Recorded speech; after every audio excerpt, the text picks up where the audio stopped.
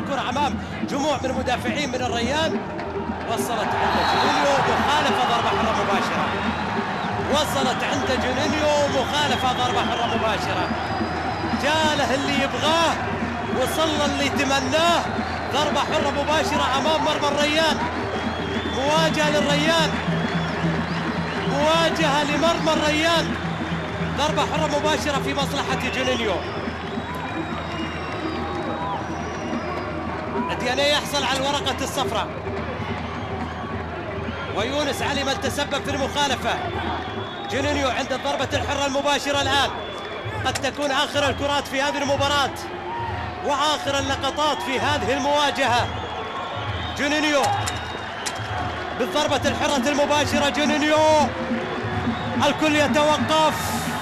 جمهور الغرافة يغني لجونينيو لأن يحرز هدفا رابعا. يحسم فيه موقع الديربي الجيران الغرافة الريان.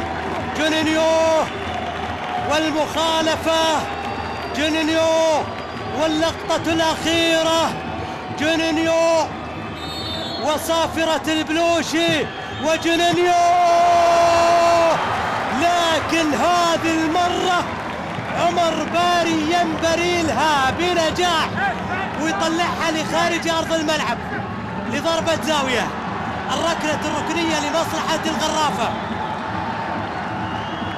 ضربة الزاوية في صالح الغرافة. ضربة الزاوية لصالح الغرافة واللاعبين يلتهون بحكم المباراة.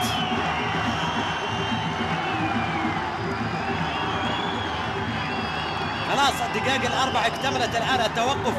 يبدو لي إلى قرار بالطرد يونس علي.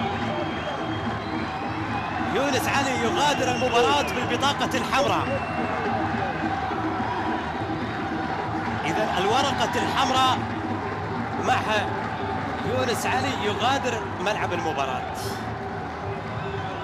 على فكرة ليست البطاقة الأولى للريان في الدوري رغم أنها الجولة السادسة إلا أن لاعبين الريان يتلقون بطاقات حمراء بشكل كبير جدا. أحيانا إيقافات بطاقات كثيرة تحدث معهم. الريان الذي دخل هذه المباراة بهدفين فقط.